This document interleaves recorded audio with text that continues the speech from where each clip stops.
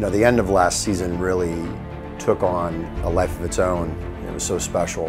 And we celebrated that in the moment, which you don't often get to do. In basketball and coaching, you have so many ups and downs, and often we get focused on the losses. But man, it, it was so fun and a great group to be around. And what I was most happy about was that the personalities of the guys came out. You know, there was so much exposure, and it's really, other than UConn, the only East Coast team that was still alive heading into that Sweet 16 weekend. So the attention through the media and then you know the opportunity that the guys had to have their own voices was there. And then they were themselves. While we were living it it was very apparent to us and to the guys that this was special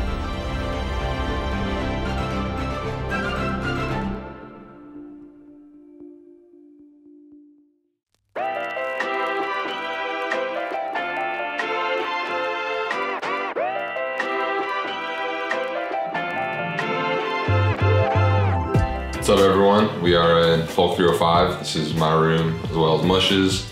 Um, today's a pretty cool day for Princeton basketball and for myself. I am about to get on a Zoom call with a senior vice president from Warner Bros. who was uh, on the Barbie movie, which is pretty cool. Um, this summer, I worked for Thunder Road Films, which is a movie production company. Uh, Coach Henderson helped me facilitate that. Thank you, Coach. That was big time. Um, I really loved what I did over there over the summer. I really think that's an industry I want to see myself getting into.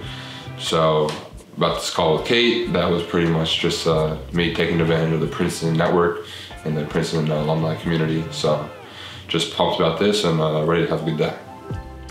Growing up, it's something I always like, that was how I spent my time watching movies. I love everything by David Lynch. I'm actually writing my thesis about David Lynch. I'm stoked about that. Um, Mulholland Drive, Lost Highway, just some of my favorites. Chinatown. And you know, we got Heat here by Michael Mann. Um, this is a favorite of and I's. It's all time, De Niro, Pacino. Just wrapped up the Zoom with Kate. Uh, went really well. Super excited to stay in touch. Um, but now the rest of our day starts. We got lift, we got practice, football game, plays Columbia at seven. We'll be there supporting. They need a big win uh, first Ivy League game. So let's go. Let's go Tigers, come on.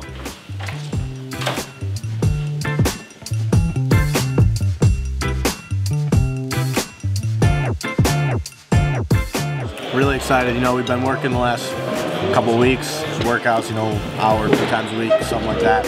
Uh, but we're, you know, looking forward to officially starting, you know, going, practicing five, six days a week and really getting this thing going. Kate and I just got done with a multivariable calc test, so all, all we're thinking about is basketball now, so we're super excited to get after it, you know, with the freshmen, their first practice. Should be a great day. Got the math test done just like them. Not feeling as good as them, but um, we got it done. Enjoy it. Ready for the, we're ready for the weekend. Ready for the weekend. That's what I like to hear.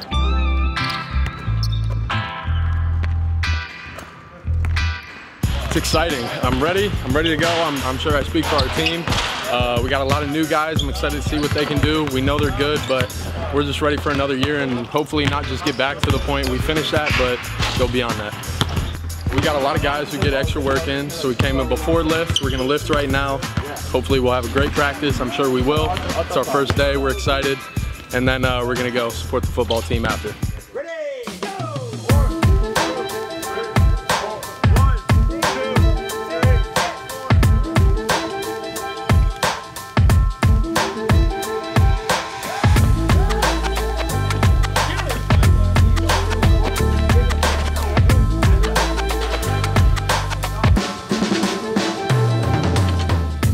No corners cut here.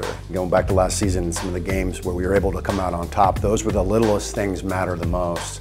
So with discipline comes freedom and then joy, right? And you want to have fun doing the little things really well. You know, you can't force that. It's got to come from the work that they're doing. The schedule's quite hard. Uh, we know that, but we've got to just get a little bit better every day, and I think that's been a good recipe for us. Mush is one of the most dynamic leaders I've ever been around, and I think will go down as, as one of the best leaders in Princeton basketball history. Zach's doing great. He really had such a terrific finish to the season a year ago, and he seems to have picked up where he left off. A captain, a leader, very much an example, all about the things that matter in terms of success.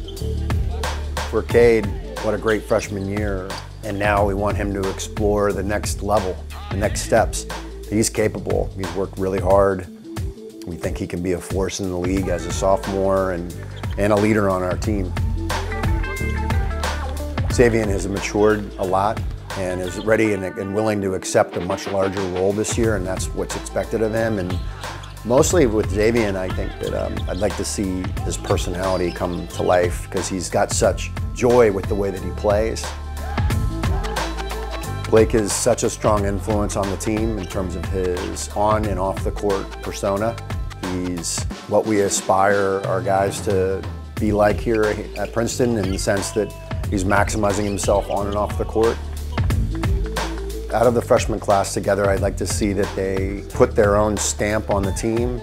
It's difficult to play as a freshman, as we all know, but you're not winning the league and you're not being successful without them. So can the older guys create a spirit of improvement and a willingness to engage with them? And then they, can they not be afraid, compete, and put their own stamp on the program? I'm excited to watch them. I think it's best when you play as if you're not thinking too much. And that's what we hope to draw on. Of course, here it is, late September, and we're getting ready to get going. But, you know, the standard is higher yeah, this group did something really unique that you know may not be done again for a while, but it's certainly our intention to do so. Together on three, one, two, three. Energized weekends here. No better way to start it. Can't wait for practice tomorrow, compete a little more. Great to spend time with my brothers, my teammates.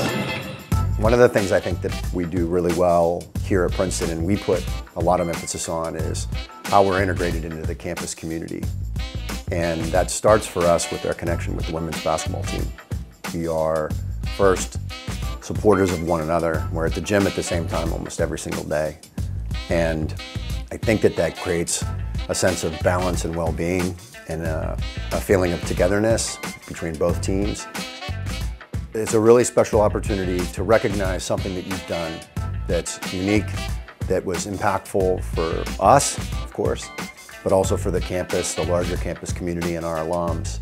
And often we forget to celebrate these moments, but we don't. We're really happy to be a part of this. You know, mark it down in, in terms of a significant moment and then draw on it all the time. Our guys take a lot of pride in being there for their fellow student athletes, Please welcome your Princeton women's and men's basketball team to the field. Princeton women's basketball was 26 and 6 last season. That's in the Ivy League regular season and Ivy League tournament I think one of the coolest things about Princeton is that you are all on campus together. You're not just drawing from your teammates, which of course we do, but you're learning from your peers every day. At lunch, at dinner, as you walk to and from class, in class. And that's seeping into your pores throughout the course of your four years. And it happens over time. I get to see it. You know, they guys probably don't see the change as much as we get to, but I think it's what Princeton does best. Is that four-year undergraduate experience is unlike anything else in the country.